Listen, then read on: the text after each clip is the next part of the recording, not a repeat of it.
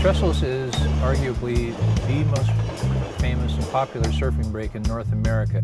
That trail has become so popular that uh, there are about 200,000 crossings a year. How can we address the safety issues, the recreational demand, at the same time while protecting the resource? I hope that uh, our outcome will inspire everyone to the greatness that, uh, that this park holds for future generations.